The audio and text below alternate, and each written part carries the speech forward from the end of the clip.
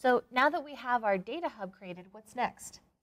So what we're going to do is we're going to go through our first iteration of ingest, curate, and access.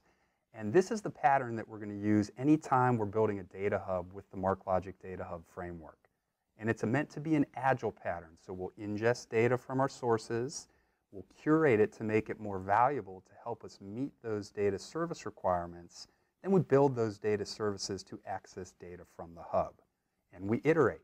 Every time we need to add and meet a new requirement, we ingest, we curate, and we build our data services that access that data.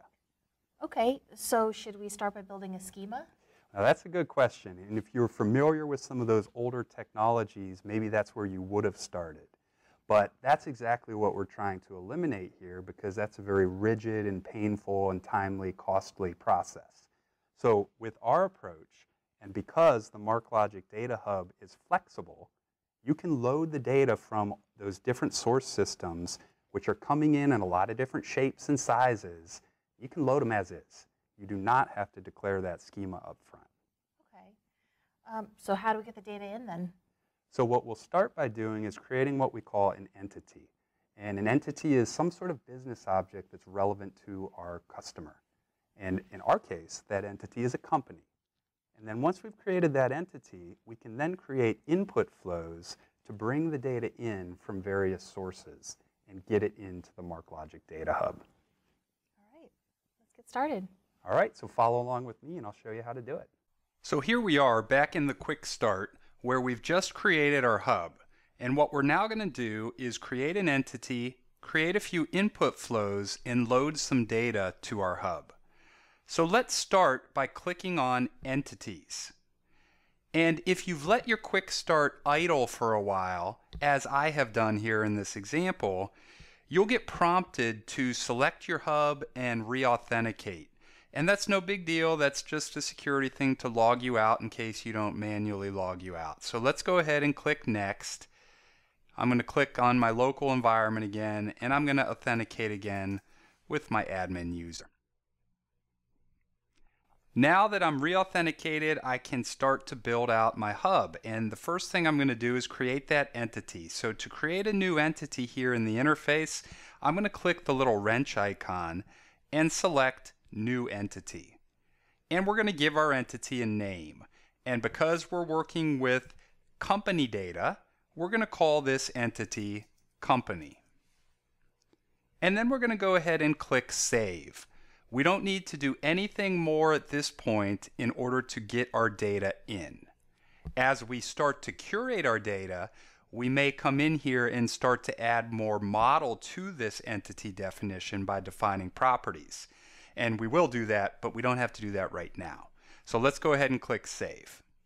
And when we get asked if we want to update the indexes in MarkLogic, well, we didn't really do anything that requires an index update because we didn't model any properties for this entity. So let's just go ahead and say no. And now you can see that we've got our new company entity defined. We can move it around. We can grab it with our mouse and expand that. And as we need to later on, we can go back and edit this to add more model to it. Now that we've created our entity, we can create flows that are associated with this entity. So next, let's go ahead and click Flows. And we're going to create some flows for our new company entity. So over in this left-hand column, let's expand that entity and we're going to create an input flow to let us load data into our hub. So let's go ahead and click the plus button here by our input flow and we're going to give this flow a name. Now remember, we've got two different sources of data. We've got a CSV file coming out of a relational database table that has information about Fortune 500 companies. And we've got another CSV file representing an export from a different relational database table that contains information about other companies that are not found in the Fortune 500. And if we look at each of these different data sets, you'll notice that the data is similar in that it's all data about a company, but the shape of that data is different because they came from different databases. Those databases had different schemas and models, so they don't look the same. But that's okay. We're going to bring them both into MarkLogic into our hub without defining any schema. But what we will do is create an input flow for each of those different data sets. That way they're organized and that will become helpful to us a little bit later on when we start to curate this data. So right now, let's create an input flow to load the Fortune 500 data. So I'm going to call this Fortune 500. And all the other default settings are applicable here. So let's go ahead and just click Create. Now that we've created our flow, we can configure the flow. And the first thing we're going to do is point to where the data is that we wish to load. So I'm going to click here on the folder at the top in order to go back a directory because the default folder we get placed into is the folder where our hub is at. But our data is actually one folder back given the structure that I created on my desktop. And we're then going to click on the data folder. And for this first one, the Fortune 500 data folder. And we can see that that's where our CSV file for that data set is located. We're then going to expand the general options configuration here. For what we're loading, we're dealing with a comma separated value data set. So the input file type is not documents. Documents would mean something like XML or JSON. Instead, we need to change that input file type to delimited text for this particular data load. We're also going to want to organize the data in some meaningful ways inside of our hub, and collections are a great way to do that.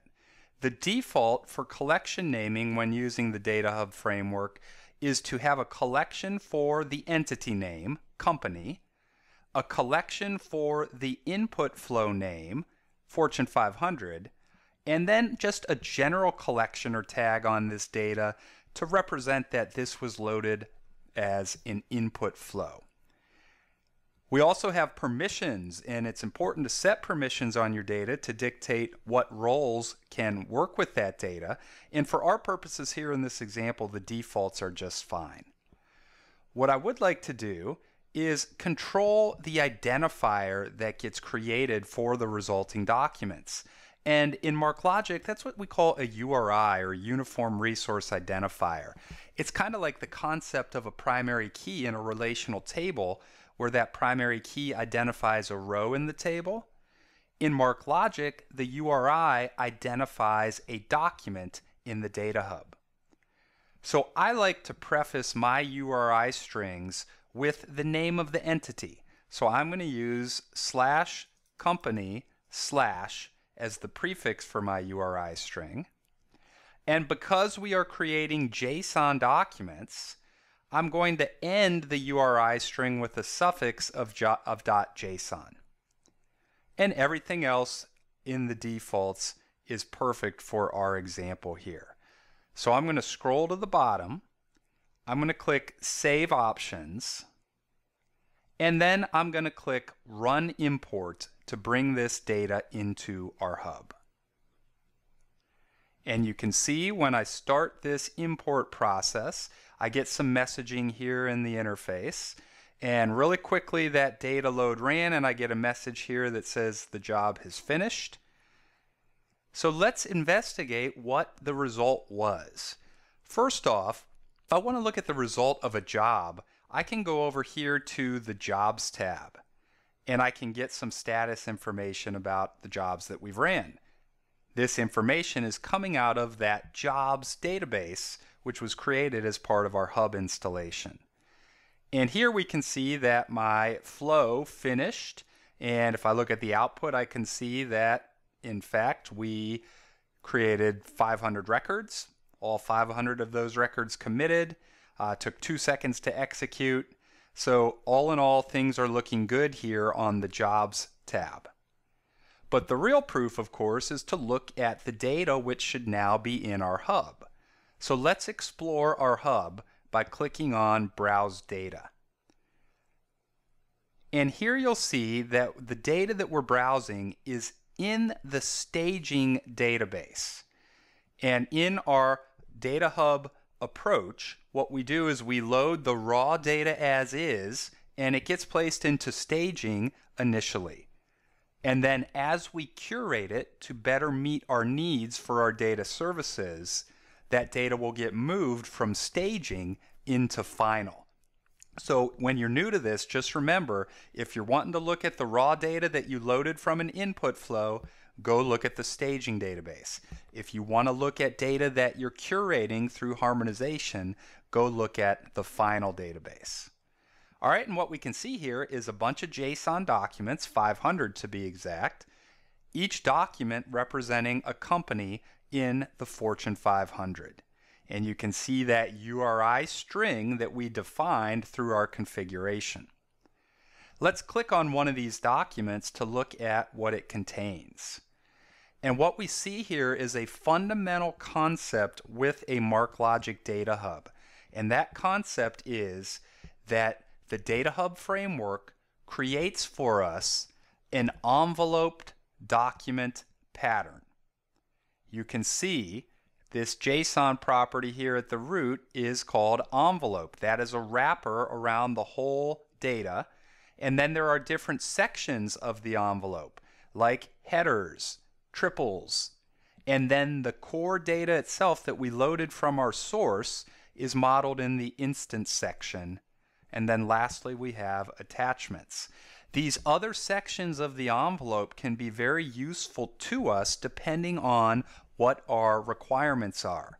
So, for example, if we had a requirement for compliance reasons that we had to maintain strict data governance and understanding of the provenance and lineage of our data, we might choose to insert that provenance and lineage data into the headers plugin as JSON. And the way we could do that kind of thing is through our flow configuration.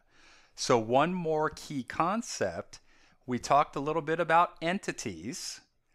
We've seen that entities can have flows associated with them, and flows have plugins associated with them. So, for example, looking here at the configuration for my Fortune 500 input flow, I can see various plugins, which are just modules of JavaScript code that we can manipulate to control that section of the envelope. So for example, if I wanted to track provenance and lineage information in the header, I could click here on the headers plugin and go in and manipulate what gets returned from this plugin and build out the content that I wish that section of the envelope to contain. We'll get a chance to work with some plugins as we start to curate our data. But for right now, what we need to do is get that second source, that second shape of company data into our hub. And to do that, we're going to repeat these steps. We're going to create another input flow under our existing company entity and configure it to load that data.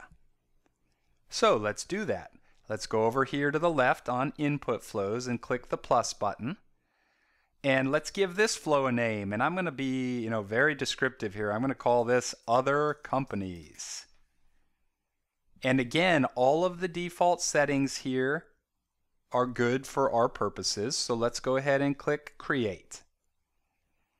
Now here I can see my flow and if we look at this flow, I'm just going to refresh my browser um, so that I, I don't see the submissions from the form on the other flow. Uh, it's identical to the last one. It's a completely separate flow. We just need to configure it in a very similar way. So just like before, we're going to find where we have that data stored. And this time, we're going to point to the other company's CSV file. And just like before, we're going to expand the general options here. And we're going to set the input file type to be delimited text. And you'll notice that the collections are slightly different because this is a different flow. And specifically now, the, the adherence of this concept of collections is really important because all the data that we loaded from the first load, that Fortune 500 flow, it has some collections in common with this, but there is one that's different, right? The data that we loaded in the last run is in a collection called Fortune 500. The data that we're loading here is going to have its own distinct collection called other companies. And that's going to be useful if we want to do certain things to this data that we might not wish to do to the Fortune 500 data. All right, permissions we can leave as default. And we're going to use the same naming pattern here, um, slash company slash and dot JSON as the suffix. Let's go ahead then and scroll down to the bottom here, save our options, and run our import.